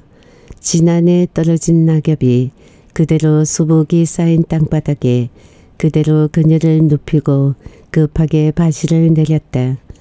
그녀도 두 다리를 허공으로 발부둥질 하듯 하며 빠르게 자신의 팬티를 벗겨내렸다. 거대하게 팽배한 내 음경이 거침없이 그녀의 까맣게 윤기 자르르 흐르는 숲을 헤치고 애기 범람하는 질 속으로 미끄러지듯 들어갔다. 감전된 것처럼 그녀가 부르르 몸을 떨었다. 눈을 감은 채 정신없이 두 손을 허우적거리다가 내 허리를 미친 듯이 끌어당겼다. 비염이 가득 실린 그녀의 신음소리와 몸놀림이 더욱 격렬해졌다. 어느 순간 동시에 정점에 이른 두 사람은 온몸의 긴장을 풀며 널브러졌다. 한참 동안 두 사람의 귀에는 아무것도 들리지 않았다. 의식이 돌아오자 먼저 바람에 실린 달콤한 아카시 꽃향기가 맡아졌다. 다음으로 상기석을 돌아 흐르는 겨울물 소리가 들리고 지저귀는 새소리와 꿀을 찾아 날아다니는 벌들의 잉잉거리는 소리가 차례로 귀에 들어왔다. 나는 그 아름다웠던 오후를 평생 잊질 못한다. 우리는 완벽하게 자연의 일부가 되었다. 그날 오후 그녀와 나 사이에 사회의 윤리나 도덕의 잣대가 어디에도 끼어들 틈이 없었다. 20여 년 저쪽의 일이 갑자기 현실처럼 클로즈업되어 나타나면서 나는 순간 심한 혼란에 빠졌다. 빈혈처럼 머리가 어지러웠다. 그대로 그 자리에 주저앉고 싶었으나 가까스로 마음을 진정하고 개찰구를 지나 역 광장으로 나왔다. 옛날 그녀와 이곳에서 만날 때 같이 여전히 승강장에서 택시가 손님을 기다리고 있었으나 그녀는 어디에도 없었다.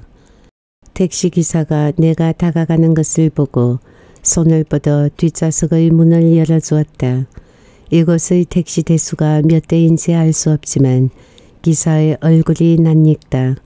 택시에 올라 문을 닫자 택시 기사는 행선지를 묻지도 않고 바로 차를 출발시켰다. 전번 이곳에 왔을 때는 내 행선지를 자신이 먼저 말했다.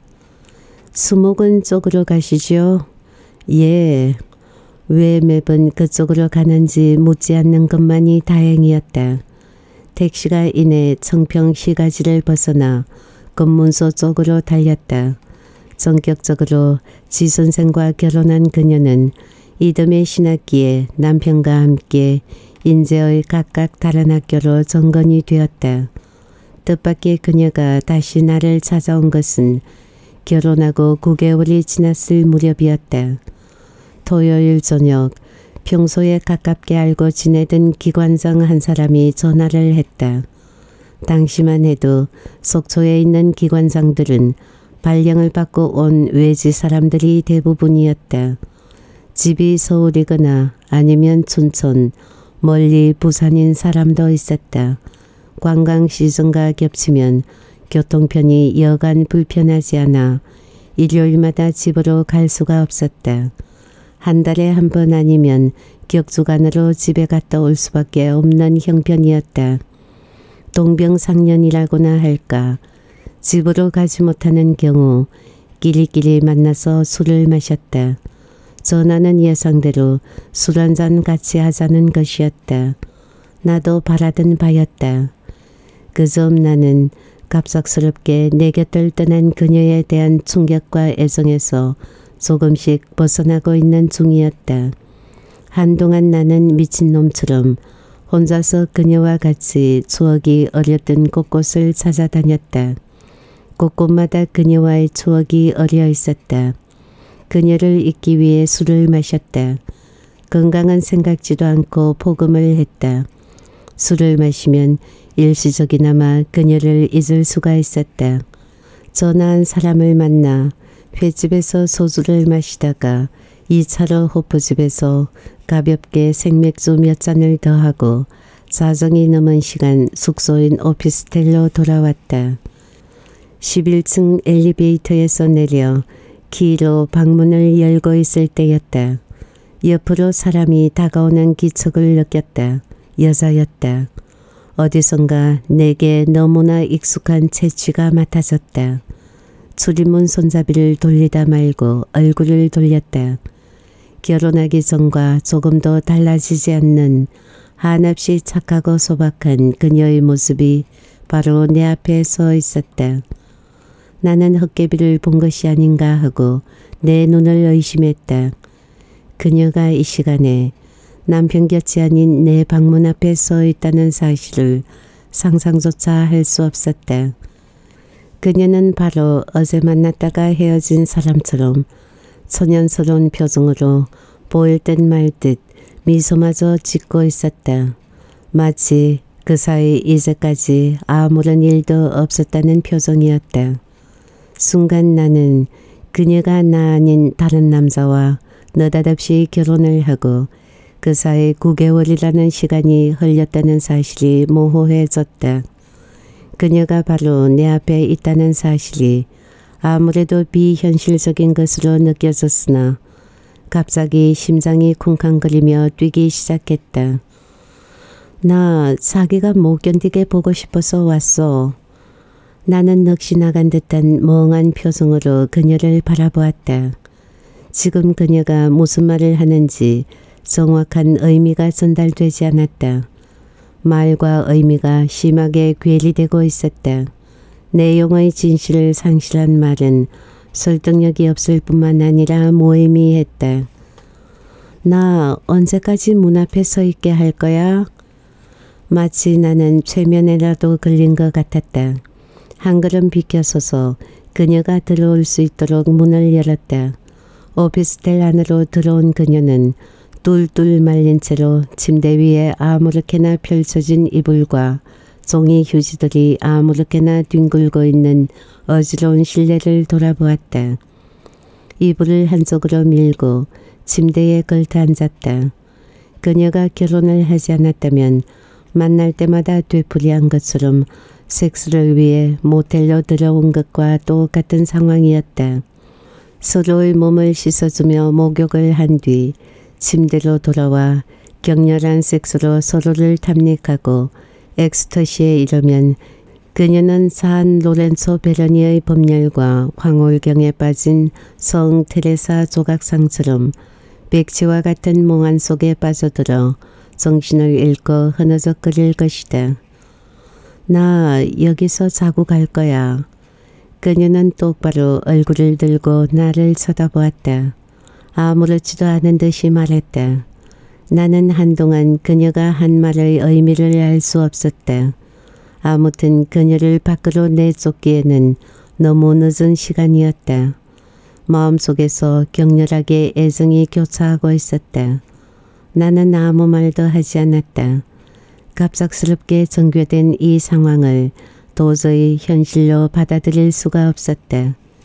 그녀는 갑자기 나타난 흑개비일 뿐이었다. 나는 그녀의 존재를 무시하기로 했다. 옷을 입은 채 침대로 가서 덜썩 들어누웠다. 화장실을 다녀온 그녀는 까만 치모가 어렁거리는 눈이 부시도록 흰 네글리제 차림으로 옛날처럼 내 옆에 누웠다. 도저히 뿌리칠 수 없는 익숙한 그녀의 향기로운 재취가 콧속으로 스며들었다. 그녀가 내 손을 끌어다 가만히 자신의 하복부에 얹었다.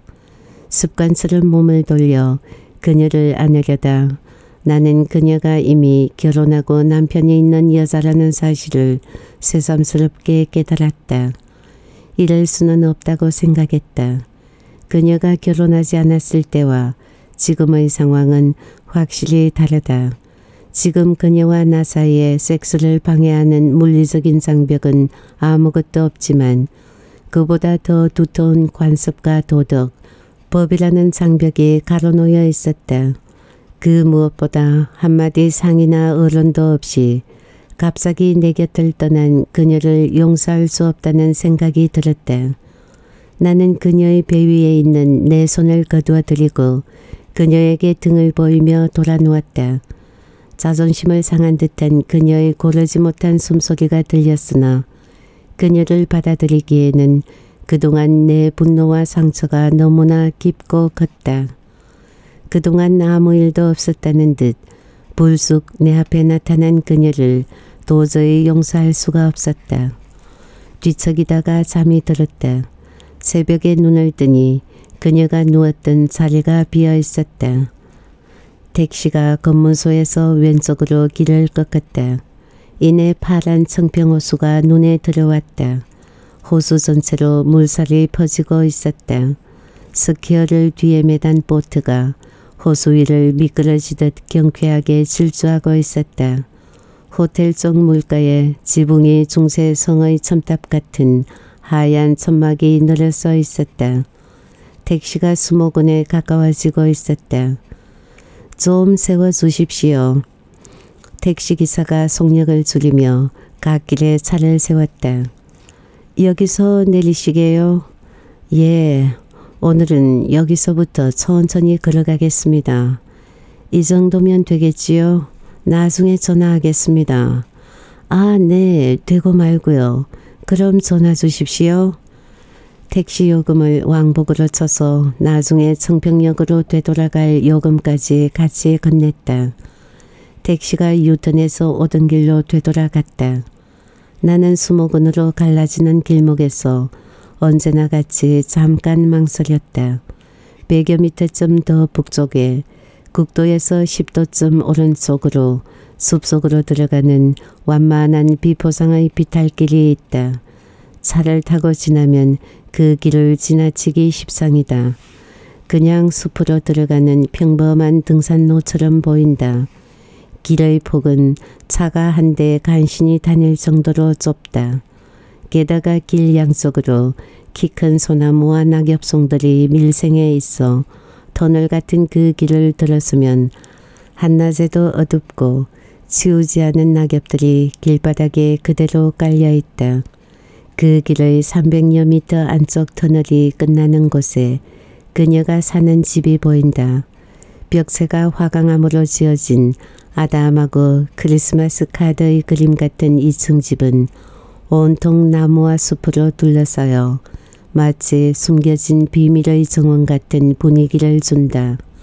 국도를 무심히 지나다니는 사람들은 아무도 그런 곳에 집이 있으리라고 생각지 못할 것이다. 나는 이곳에 오면 언제나 망설인다. 아무것도 아닌 것 같지만 선택이 필요했다. 수목원부터 먼저 가볼 것인가 아니면 그녀의 집 앞부터 먼저 가보고 수목으로 갈 것인가 하찮은 내 인생에 있어서도 얼마나 수없이 많이 이러한 선택이 필요했는지 모른다. 토요일 늦은 저녁 인제에서 한계령을 넘어 다시 그녀가 오피스텔을 찾아왔다. 나는 견할벽에 유지하던 그녀에 대한 애정의 끈을 더 이상 유지할 수가 없었다. 내 마음속 깊은 곳에서 그녀가 나 아닌 다른 사람과 결혼했고 남편이 있는 유부녀라는 사실을 애써 부인하고 싶었는지도 모른다. 정신을 차렸을 때 우리는 전처럼 서로 엉켜 있었다. 다시 옛날로 돌아간 것이다. 처음이 어려웠을 뿐이다. 우리의 행위는 사회 통념상 분명히 불륜이었지만 그 불륜은 여름과 겨울 방학 기간을 빼고 이듬해에도 계속되었다. 그녀의 결혼 생활이 특히 성생활이 순탄지 못하다는 사실이 어렴풋이 감지되었다. 그러나 그녀에게 직접 물어볼 수는 없는 일이었다. 그럼에도 불구하고 그녀는 남편과 이혼하겠다는 의향을 전혀 내비치지 않았다. 가정생활은 남편과 성생활은 나와 남편과 같이 하는 기묘한 관계가 그 후로 몇 년간이나 계속되었다. 다시 그녀가 내 곁을 떠난 것은 어느 해 여름방학 이후였다. 방학을 맞아 남편과 함께 유럽 여행을 간다고 했다. 방학이 끝나고 학기가 시작되었는데도 그녀로부터 아무 연락을 받지 못했다. 언젠가 그녀가 다시 내 곁을 떠나리라는 막연한 불안이 현실로 다가왔다. 전화를 했으나 전화번호도 바뀌어져 있었다. 의도적으로 나를 피하고 있음이 분명했다. 나는 다시 깊은 절망에 빠졌다. 몇 년의 세월이 흐른 후 다시 그녀가 나를 찾아왔다.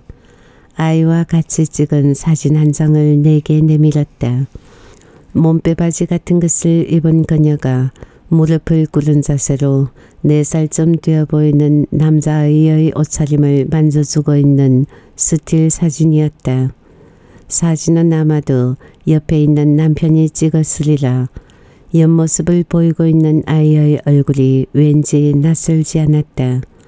어디선가 많이 본 것 같은 얼굴이었다. 저 어리고 귀여운 남자아이의 얼굴을 어디서 보았는지 얼른 생각나지 않았다. 그녀를 많이 닮았기 때문만도 아니었다. 사진을 보여주는 그녀가 몹시 엉뚱스럽다는 생각이 들었으나 내색하지 않았다.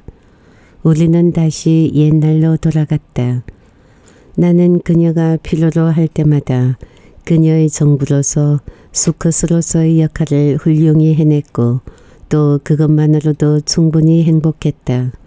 다만 그녀가 다시는 내 곁을 떠나지 않기를 바랐을 뿐이다. 불륜도 이력이 붙으면 점점 대담해지는 법이다. 이력만큼 얼굴이 두꺼워지거나 알게 모르게 기존 도덕률에 둔감해지며 스스로를 합리화하기 때문일 것이다. 처음에는 사람들의 이목을 피하기 위해 주로 변두리 모텔을 미래의 장소로 택했으나 점차 그녀의 집이 있는 춘천 쪽으로 장소가 옮겨졌다. 대신 사람들의 시선이 분산되고 드나들어도 의심을 사지 않을 장소를 택했다. 그런 장소로는 콘도가 제격이었다. 콘도라는 곳은 불특정의 많은 사람들이 드나드는 공공장소이기 때문이다. 그녀의 아파트에서 승용차로 불과 7, 8분의 거리에 콘도가 있었다. 그녀는 남편의 저녁을 챙겨주고 아이를 학원으로 데려다 준 후 바로 내가 묵고 있는 콘도로 와서 밤늦게까지 섹스에 골몰했다. 어느 때는 섹스 도중에 남편의 전화를 받는 경우도 있지만 옛날처럼 당황하는 일은 없었다. 나 시내에서 친구랑 커피 마시고 있어요. 곧 들어갈게요. 준수 학원에서 왔어요? 아이가 학원에서 돌아왔다는 그녀의 남편 목소리가 내게까지도 또렷이 들렸다. 전화가 끝나고 우리는 하던 짓을 계속했다. 이튿날 새벽에도 그녀는 수영장으로 가는 대신 다시 콘도로 왔다. 수영 대신 샤워를 하고 나를 역으로 태워다 준 뒤 집으로 가서 학교로 출근했다. 그녀가 다시 내 곁을 떠난 것은 갑작스러운 남편의 발병 때문이었다.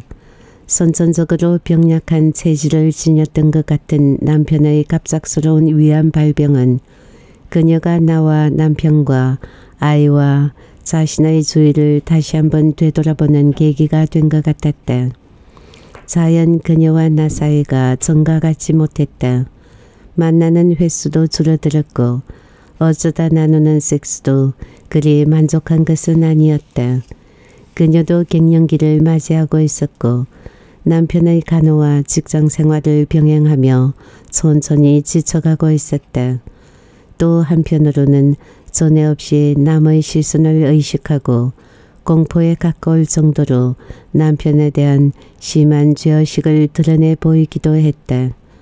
나는 그저 안타까운 마음으로 그녀를 지켜볼 도리밖에 없었다. 어느 날 기어코 올 것이 오고 말았다. 남편의 위암 수술이 결정되었다는 날 섹스가 끝나고 그녀는 내게 등을 돌려 브레이지어의 후크를 끼우게 한 뒤 일어나서 팬티를 위로 끌어올리며 선언하듯이 말했다. 우리 이제 그만 만나요. 오래 준비된 듯한 말이었다. 그동안 그녀의 태도로 보아 전혀 예상치 못했던 것은 아니지만 전과는 다른 불길한 예감이었다. 세 번씩이나 반복되었던 만남과 이별과는 달리 정말 이번은 마지막이라는 느낌이 강하게 다가왔던 것이다. 어디서나 건강해? 그 말밖에 할 수 없었다. 그녀가 밖으로 나간 뒤 나는 콘도의 베란다로 나와서 그녀의 흰색 러망이 주차장을 빠져나와 콘도 앞을 가로질러 사라지는 것을 멍한 시선으로 바라보았다. 수술을 앞둔 아픈 남편과 가정을 지키기 위해 이별을 선언한 그녀의 선택을 충분히 이해할 수 있었지만 동시에 그동안 잊고 있었던 나 자신을 돌아보았다.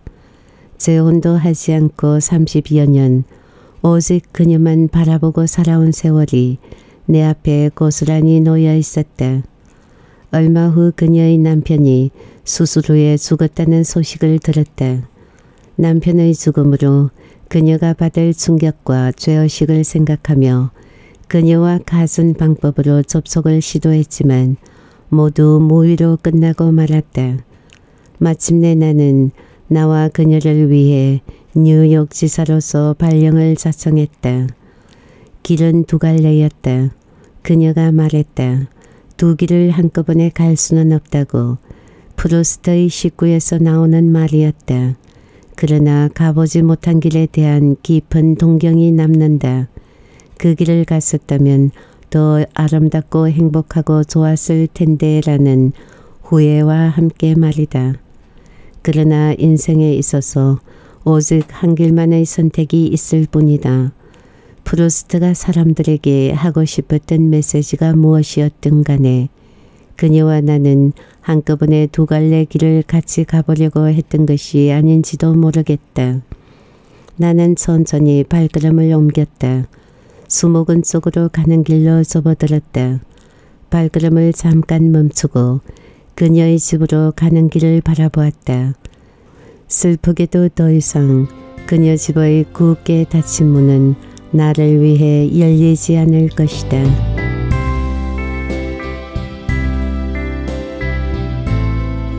네, 불륜도 이력이 붙으면 점점 대담해지는군요.